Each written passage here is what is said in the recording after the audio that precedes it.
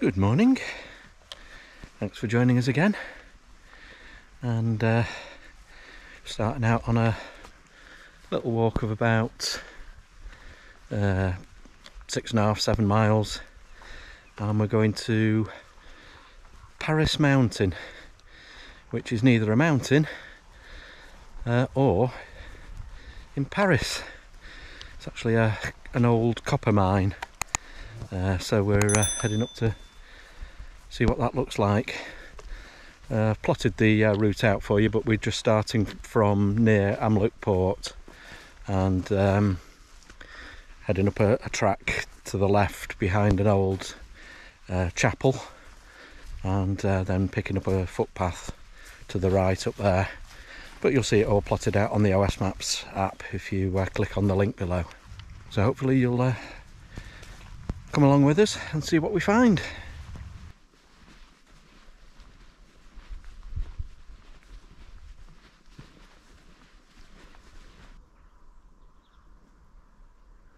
Damsons, I think. Past their best. Starting to dry out a bit, but uh, looks like the birds are going to have plenty to eat. Loads of blackberries too. And uh, just been on one of the uh, little plaques I've just read. Uh, this is part of the Anglesey Copper Coast Trail and uh, looks like the uh, paths are looked after by the Môn Ramblers Association. And I have to say top marks to them for all the paths that we've used whether it's the you know part of the Isle of Anglesey coastal path or some of these more inland ones all very well looked after um, and little bits you know where you, you need to cross streams and you've laid down planks or uh, built little bridges. Uh, the majority of the stiles are well maintained yeah hats off to them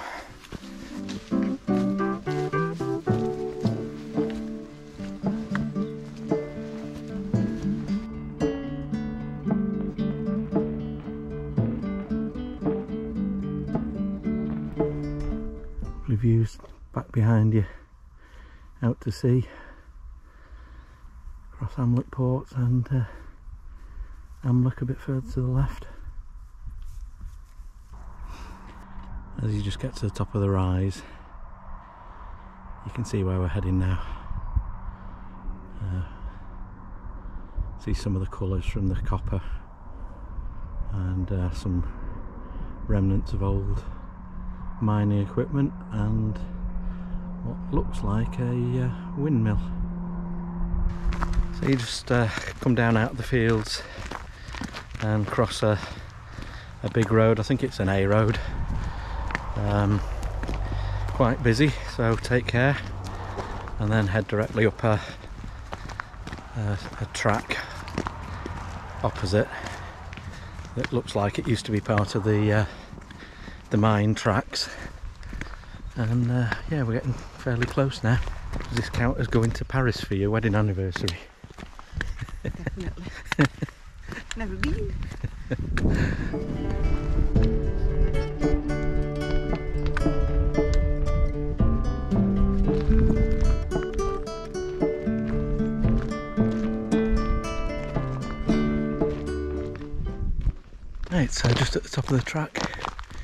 path turns right and then you can explore a network of paths around the site of the mine. So we'll see what we find. And then we're going to find a path in the far corner uh, to take a different route back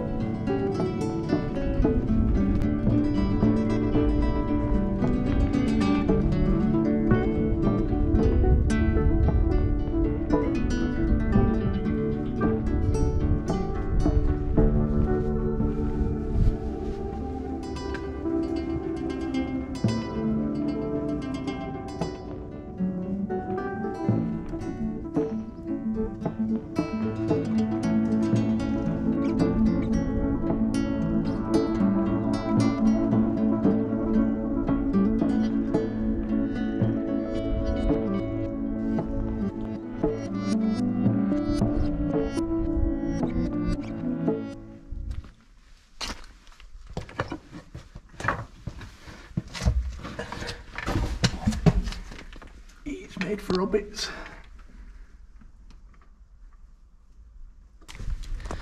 So from what I've read, there's been uh, copper ore and other minerals mined here right since the Bronze Age.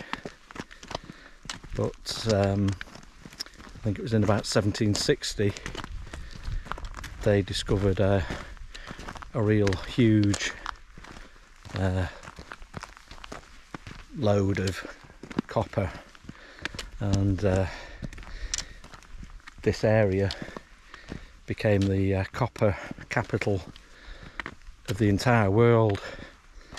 It says for about a decade, so quite short lived. But I don't know, I'm not sure how long in total the uh, the mining went on for. It's obviously uh, quite an operation here, and then there's all the you know the port was built. Uh, talking to an interesting guy in the pub last night, and he said it was um, Cornish tin miners that uh, came here and actually um, blasted out the kind of natural inlet to make it, um, you know, a proper port for bigger vessels to get in, and then uh, used the rock that was blasted out to actually line the uh, sides of the port that you can see today. So uh, yeah, there's loads of fascinating stuff in the area.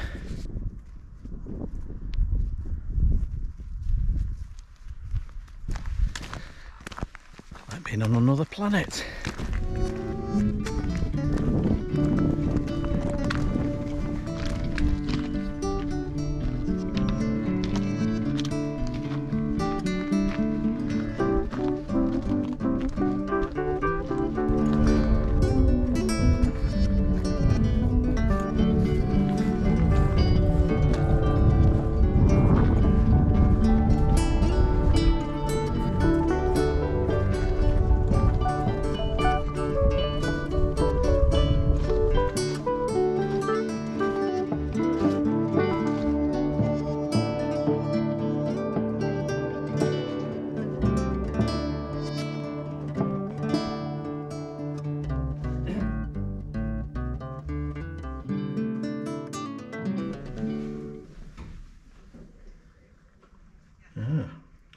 Assisted steam engine. 1878.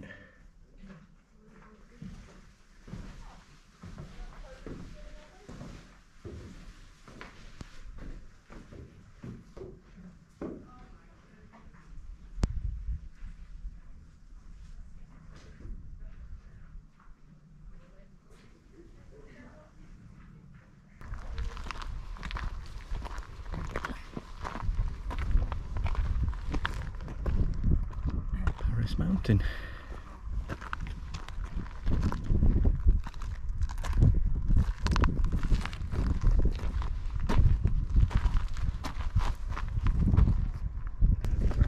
So just reading the uh, just reading the boards inside the windmill, and there was over a hundred pits. Um, some as great as 285 meters deep, and there's uh, 20 kilometres of tunnels under here accessing all the uh, different pits. So uh, massive organisation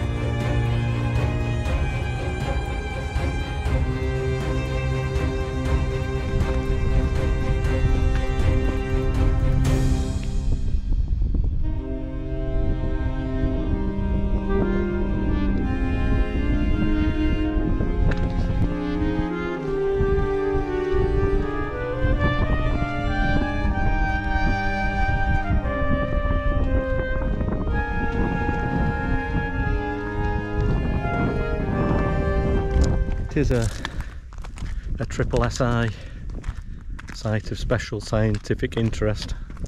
Try saying that after a beer. Um, with a number of plants that can only grow in this uh, highly acidic environment. Quite specialised.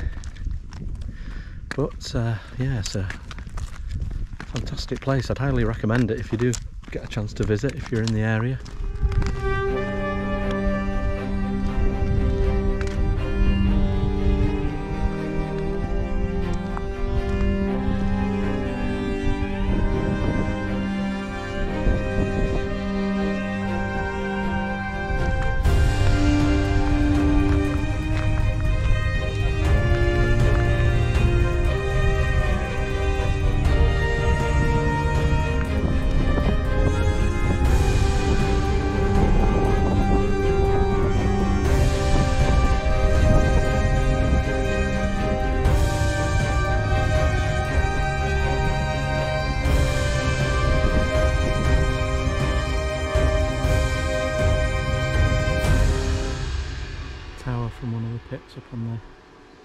Just as we uh, exit the site. So we've just got a little short stretch along uh, country lane here and then I think we've got about 100 yards left along the A road and then we uh, pick up a track to our right so uh, hopefully the A road's safe to walk along but we'll soon find out. Nice little old Moggy Minor there. Should polish up that. Right, just along the A road for a bit. It's not brilliant to walk along, but uh, there's a, there is a verge, so it's not so bad. After about 100 yards along that A road, there's a cottage. Look down to your right past the cottage and you'll see the path. Bit down beside that white house is pretty sketchy, overgrown. Um, doesn't really look like they want you there, but it is the footpath, and uh, kind of cut across. Like it's there's a broken down sort of walkway across a stream, but it is it is passable. And then you're looking across the field, and there is a, a stile that takes you to the other side of a stone wall and that is what you're looking for. So after the rickety stile, it's uh, straight downhill across the field, and there's a, there's a, a gate at the uh, bottom end. It's uh, a little bit sketchy this section, so uh, follow the uh, the map carefully. Just down at the bottom here, you should hopefully be able to turn right, I think double check when we get across. Yeah, we turn right at the bottom but keep the wall to your left. There is a uh, footpath marking post. Right, we carry on on this uh, footpath for uh, a good way now, maybe maybe a kilometre, maybe a bit less, but you know you're in the right direction because you should be passing below the um, pit lift uh, just to the to the left of it. You can see it up on the top of the hill. And uh, just carry on through this farmland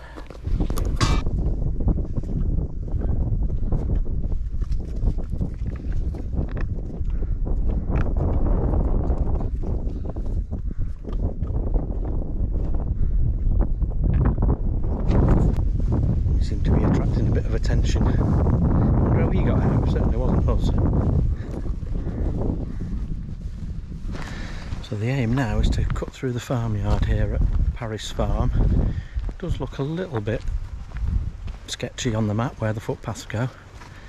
But there's a footpath running up to it and there's a footpath leaving it. So uh, let's see how we get on. Right.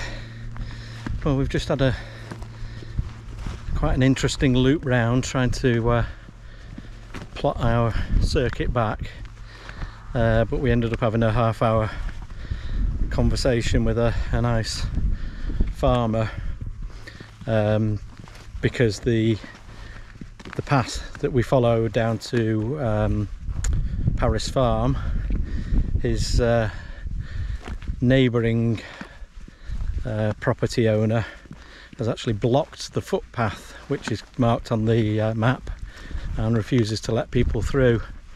Um, now he was going to let us let us through his property, but uh, obviously because I want to share the route on um, OS Maps, I don't want to be uh, sharing a, a, route that's not uh, a, a, proper footpath. So uh, so I'll be sharing a route that takes us back round the other side of uh, Parys Mountain and then just hooks up with the trail that we came up on.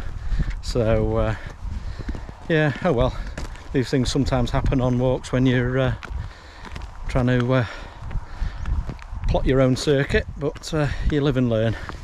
Right nearly done now. Uh, we're about a kilometre away from the campsite. And uh, well by the time we get back we'll have done about nine miles. But uh, some of that is courtesy of the kindly landowner who closed the footpath uh, but uh, yeah, the uh, farmer we spoke to actually advised us to contact the uh, local council about that, see if we could get something done about it, because uh, he doesn't appreciate it either, because it causes people to trespass across his land. So he'd like it sorted out. Anyway, um, I'll prop, I'll plot the route that you can actually do, but it'll be more of a kind of out and back along the same stick with a circuit around Parys Mountain at the end. And um, Parys Mountain itself is uh, well worth a visit. It's really uh, something else quite otherworldly. Uh, so I'd, if you're in the area I'd recommend you take a look. Um, but thanks for joining us.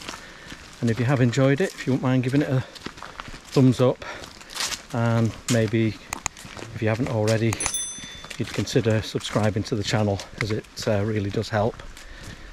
So uh, with that we'll say ta and we'll uh, catch you again sometime in the uh, not too distant future. Cheers now. See ya